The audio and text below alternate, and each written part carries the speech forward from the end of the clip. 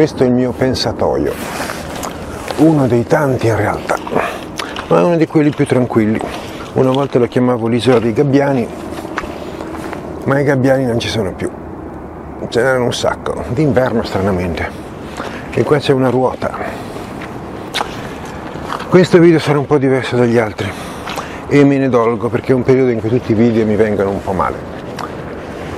C'è un'emergenza di cui voglio parlare, ma non è quella del coronavirus, anche se oggi è domenica 8 marzo. Auguri alle donne, ironia della sorte, anche se le donne che conosco io si incazzano se gli fai gli auguri solo l'8 marzo. Cioè voglio dire, bisognerebbe trattarle bene tutto l'anno, giusto?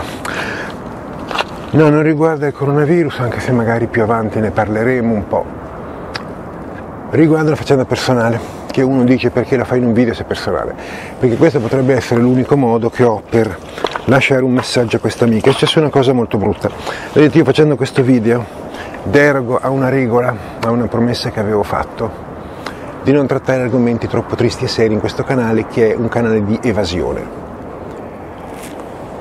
Purtroppo vi parlo di una volta che ho violato un'altra delle mie regole. La mia regola era non dare dati personali a gente conosciuta su internet, con cui si fa amicizia in modo virtuale, ma senza far conoscere indirizzo, numero di telefono, eccetera. Ho fatto una sola deroga a questa regola, per una sola persona, che era questa amica, di cui non voglio neanche dire il nome. La chiamerò Antonella, che non è il nome vero ho fatto un'eccezione perché ero immensamente triste e piena di problemi e mi sembrava brutto tenerla a distanza in quella situazione così tragica. Però a conti fatti ho capito di aver sbagliato a violare la mia regola, perché poi la situazione è un po' degenerata insomma. È accaduto che questa mia amica che è perennemente triste, disperata, in un posto senza fondo di negatività, ha incominciato a fare cose un po' strane, tipo telefonare alle tre di notte, telefonarmi quando è ubriaca fradicia e non è molto rilassante perché ci sono quelli che hanno la sbornia allegra, che è divertente, ma lei ha la sbornia triste. E quindi una o due ore consecutive cerca di consolare una persona che non capisce quasi neanche quello che dici. E d'altronde lo stesso vale di te che capivo poco quello che mi diceva. Il problema insomma è che L'altra notte, adesso è domenica, la notte tra venerdì e sabato, l'ho dovuto bloccare. Bloccare il suo numero, Whatsapp, sms, tutto quanto. E mi è dispiaciuto. Ma non ne potevo più.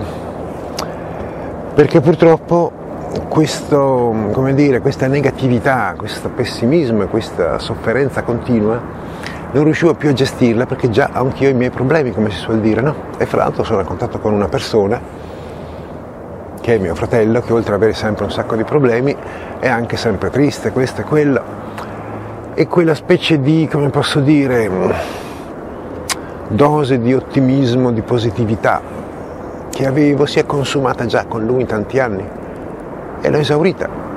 Per cui questa mia amica Antonella sarà un po' sorpresa che la blocco adesso, nonostante che in passato abbia fatto cose anche un po' peggiori di quella della notte di venerdì. Ma è il discorso della goccia che fa traboccare il vaso, è quello il punto. Il problema non è nella goccia, è nel vaso, che era completamente pieno. Una volta, beh, oltre alle solite telefonate notturne, mi ha telefonato che sembrava che lo stessero ammazzando. Poi scompare. Io continuo a chiamarla, a cercare di contattare per sapere qualcosa perché ero preoccupato e lei per settimane non mi risponde. Poi un giorno mi telefona per farmi gli auguri, non so di compleanno cosa, e veniva fuori che ha un brutto rapporto con il cellulare e a volte non lo usa per un po' di tempo. Però mi ha fatto stare preoccupato per molto tempo, no? È inaiutabile nel senso che qualunque cosa le consiglia le dice non posso questo, questo non funziona, questo non va bene. Si ha l'impressione di non riuscire a fare nulla, no? Mia sorella che conosce i fatti della vita, quando gli parlai della situazione mi disse è inutile, conosco anch'io persone così, non possono essere aiutate, non vogliono essere aiutate, trascinerà soltanto te nel fondo della disperazione. E io all'inizio speravo che non fosse vero, perché a volte minacciava il suicidio, mi diceva non mai risposto addio per sempre a tutti e così, come se stesse per suicidarsi, poi non si suicidava ma tutta questa negatività, vedi, Antonella, io lo so, tu sei finita in un giro vizioso e non sei l'unica. Molta gente finisce in quel giro vizioso che è come un gorgo, come una specie di spirale nell'acqua, come si chiama? Un gorgo. Un gorgo dove uno viene risucchiato. Il giro vizioso qual è? Tu stai male, ci sono cose tristi e quindi vabbè sei triste. Sei triste, sei piena di negatività, Risultato la gente non è molto contenta di stare con te, con questa persona che continua a dire cose disperate, per cui si allontana da te. Tu sei più sola, sei ancora più triste e allora sei ancora più negativa e ancora di più la gente si allontana da te. È un giro vizioso. Bisogna uscire dal giro vizioso. Eh, è difficile. E per farlo bisogna avere una funzione anticiclica, diciamo così. Andare in direzione opposta alla corrente, uscire fuori, come a vite. In pratica, vedi Antonella, tu hai anche un lato positivo quelle volte ed è successo in cui non ero ubriaca, eri simpatica, divertente, io mi ricorderò sempre dei tuoi aneddoti sulla tua paura per le lucertole o sul camino che ti ha fumicato la casa o su quelle strane cose che faceva il tuo cagnone mentre dormivi. Mm. In quei casi non era un sacrificio stare con te a parlare, quello è il tuo lato positivo. Ognuno di noi ha un lato positivo e un lato negativo, che è il dottor Jekyll e Mr. Hyde, oppure dottoressa Jekyll e Mrs. Hyde, insomma, o Miss Hyde. È normale, soltanto che l'errore è quello di cercare di contattare la gente quando sei nel tuo momento peggiore. Lo so che viene spontaneo, perché quando uno sta male, che vuole aiuto dalla gente, ma il guaio è che in quel momento, soprattutto se ubriaca fradicia, c'è la verità, non mostri il lato migliore di te ed è difficile, molto faticoso starti dietro in quei momenti.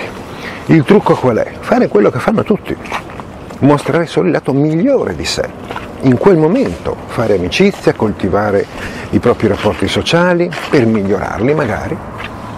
Quando invece si è di umore nero, isolarsi per non danneggiare ulteriormente i propri rapporti con le altre persone.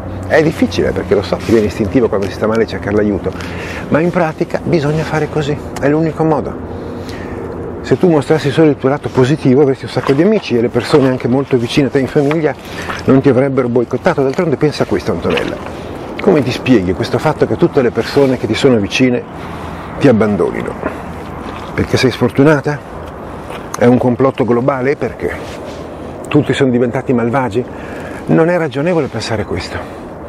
Quando accade che tutte le persone che conosci trattano in un certo modo è perché evidentemente c'è qualcosa in te che spinge queste persone a trattarti in quel modo, non si sono accordati prima per boicottarti. Perché purtroppo quando tu stai male assumi atteggiamenti un po' sgradevoli. Questo fatto di minacciare sempre il suicidio, di far sentire in colpa anche la persona che ti sta aiutando perché magari non ti ha risposto alle tre e mezza di notte. Antonella, lo so che ti ho detto che soffro di insonnia, ma diciamo la verità, alle tre e mezza di notte di solito pure io dormo, magari poco, ma un pochino dormo anch'io ogni tanto. Questo non va bene, c'è anche un modo, vedi, una specie di arte sottile per far star bene quelli che ti stanno aiutando. Cioè anche una vittima, diciamo così, che ha bisogno di aiuto può risultare gradevole, ma bisogna che abbia certo approccio. Hai presente quei vecchi film americani pieni di bontà natalizia familiare, magari in periodo di Natale? Immaginati questa scena che sicuramente abbiamo visto in molti film. L'uomo che non ha bisogno di aiuto perché è un gran siorazzo, che sta per tornare a casa alla sua famiglia la sera di Natale e incontra il barbone, bisognoso di aiuto. E allora gli dà dei soldini, magari anche un po' di più del normale, visto che è Natale. E allora quest'uomo gli dice che Dio la benedica, Mr. Johnson, è un nome di fantasia, è solo perché non mi ricordo il nome autentico di quella scena. Che Dio la benedica, che Dio benedica la sua famiglia e tutti noi, buon Natale, e poi se ne va con i soldini. Questo è il modo giusto. Il signor Johnson sarà stato molto contento di aver dato quei soldi, si sentirà molto generoso, avrà avuto il buon augurio di quell'uomo che ha aiutato così tanto. E festeggerà un bellissimo Natale, ma non sempre va così, soprattutto se non sei in un film americano degli anni 50. Può succedere che tu incontri una persona e gli dai soldino e questa persona dice grazie, ma dammi un altro, dai un altro, quante cose dai un altro, un altro, un altro, e tu gliene dai un altro, ma io un altro ancora. Alla fine decide no, e lui ti maledice pure che sei una persona egoista. Così gli dà due soldini e ti sei beccato l'egoista. Il punto è che quel barbone non becca più una lira, capito? È quello il discorso. Perché non ha saputo gestire questo, questo approccio dell'aver bisogno di aiuto nel modo corretto. Bisogna far star bene un pochino anche chi ti aiuta. E tu questa arte sottile per ora non ce l'hai purtroppo. Sai, io ho conosciuto altre persone in questa spirale di depressione, eccetera, che allontana tutti. E quasi sempre ha cercato di aiutarle. al punto che mia sorella, che conosce certi miei retroscena, mi ha detto se proprio tu potevi cercare queste persone. Non è che le vado a cercare, è che quando vedo una persona che sta male, abbandonata da tutti, mi viene istintivo aiutarla. Ma poi alla fine mi accorgo che neanch'io da solo posso fare un miracolo, perché in questa spirale, in questo gorgo, in questo giro vizioso non ne esco c'è la storia di questa mia amica del passato, un passato lontano, lontano, forse addirittura eravamo nell'altro millennio, anche se era il 1999 forse.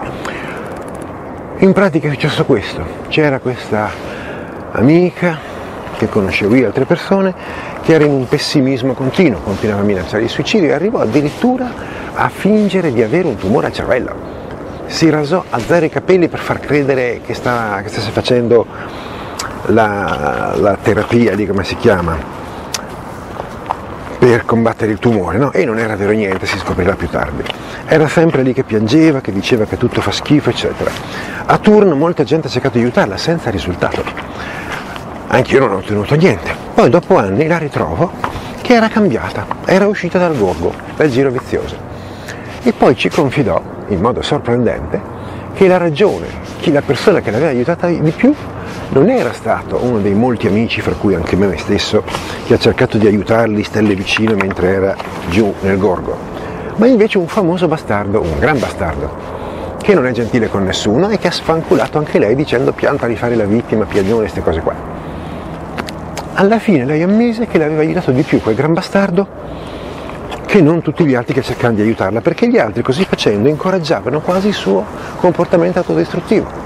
Lei sapeva che piangendo molto prima o poi trovava qualcuno che la consolava e tirava avanti, mentre invece no, non bisogna tirare avanti in quella direzione, bisogna cambiare direzione. Ora vedi, io non posso fare il gran bastardo e ricoprirti insulti così che non lo farei mai. Però ti posso dire, c'è una certa quantità di gran bastardi in giro, potresti trovarne uno e sarebbe una grande soluzione per te. Ma devi soprattutto capire, la, avere la consapevolezza di capire che non si può andare avanti così, commetti troppi errori per esempio quella cosa che tuo figlio, anche lui, ti ha da tempo bloccato non ti risponde neanche al telefono, eccetera. Mi hai raccontato molti episodi di come si è comportato male con te, ma io sono un po' sorpreso. Tu quella volta gli hai fatti anche un bel regalo e lui ti tratta male. Di solito uno almeno non accetta il regalo in quelle condizioni, più che prendere il regalo e dire vai via brutta strega, è strano, no? Ho l'impressione che tu abbia commesso qualche errore anche nel momento in cui davi il regalo e almeno uno di questi errori me l'hai confidato quella volta che tu sei finita all'ospedale e lui dopo tanto tempo che non ti veniva mai a trovare è venuto a trovarti. Era un atto gentile, un atto distensivo per fare la pace con te. E tu che cosa fai? Come approfitti di questa sua visita? Di chiedergli spiegami perché mi odi tanto. Non è una bella domanda, lo fai sentire in colpa. Lui era venuto da te e tu ricominci a litigare con lui per chiedergli come mai ti odia tanto. Sono errori, Antonella, Purtroppo sono errori. E io credo davvero, ripensando a quella mia vecchia amica, che fare, diciamo così, da spiaggia, da, no, spiaggia, eh, spalla su cui piangere, sempre disponibile quando capita, anche tra di notte, non ti farebbe affatto bene. Perché alla fine continueresti a tirare avanti in questa direzione, tu invece devi ritrovare ad avere buoni rapporti con tuo figlio, tua nuora, le tue vicine di casa, una volta mi raccontavi di quanto erano gentili, poi ti sei arrabbiata con loro, ok, ci si arrabbia si può fare pace, però devi farlo mentre non sei ubriaca e mentre sei nel tuo periodo migliore, è in quel momento che devi cercare i rapporti sociali e di migliorarli, non quando sei ubriaca, fradicia e disperata, perché non sei gradevole in quei momenti, nessuno riesce a starti vicino. Questo fatto di mostrare il lato migliore e nascondere quello meno buono lo fanno tutti, è normale. Anch'io lo faccio, anch'io ho un dottor Jekyll e un Mr. Hyde. Cerco di mostrare il dottor Jekyll per fare il simpatico, così il bravo, così la gente mi trova simpatico. Ma quando sono Mr. Hyde non mi faccio vedere da nessuno, perché la gente potrebbe trovare strano quello che faccio, o terribile, cioè non è che ammazza la gente, insomma, ma in quel periodo lì sono un po' meno gradevole, diciamo, e allora mi isolo e a volte vengo qui, nel mio pensatoio o in altri posti oscuri, è normale, ma bisogna farlo. Io non posso sentirti per due ore solo a parlare di tutte le persone che ti hanno trattato male. Anche perché uno poi se lo chiede come mai ogni singola persona che ti incontra ti tratta male. Non può essere un complotto globale, Antonella, c'è qualcosa in te che evidentemente suscita questo. Tu devi rendertene conto. A me dispiace tanto di averti chiusa fuori così. Ma già ho fatto un'eccezione con te, che è andata avanti per due o tre anni, perché parecchio che ci sentivamo. E adesso il motivo per cui chiudo tutto, che tu penserai, è stato così terribile questa telefonata notturna. Non ti ho risposto perché dormivo, me ne sono accorto di mattina. Ma in pratica sì, è stato terribile perché poi sapevo che ci sarebbe stato un seguito, che avrei dovuto telefonarti, anche perché nel solito messaggio dici nessuno mi ama, questo e quello, voglio dormire tanto, tanto, tanto tempo, che non è proprio come quell'altro messaggio addio, me ne vado per sempre, che era più chiaro il messaggio di suicidio, ma lasci sempre questa idea che sei lì lì per suicidarti. Quindi avrei dovuto telefonarti e magari ti trovo ubriaca e avrei avuto una telefonata angosciante e incomprensibile, in cui non sarei riuscito a tirarti neanche su. Questo non va bene. Io non ce la faccio più perché non, sono, non ho più quella, quella riserva di pensieri felici che avevo una volta. Non ce l'ho più, l'ho esaurita, probabilmente con mio fratello. E quindi adesso non sono più in grado di aiutare una persona che è in quel gorgo, però ho cercato di farlo adesso dandoti dei consigli che questi consigli possono essere utili. Si fa un po' di sforzo a non chiamare qualcuno quando si sta male, ma se stai male in quel modo lì purtroppo rovinerai un altro rapporto ogni volta che lo fai.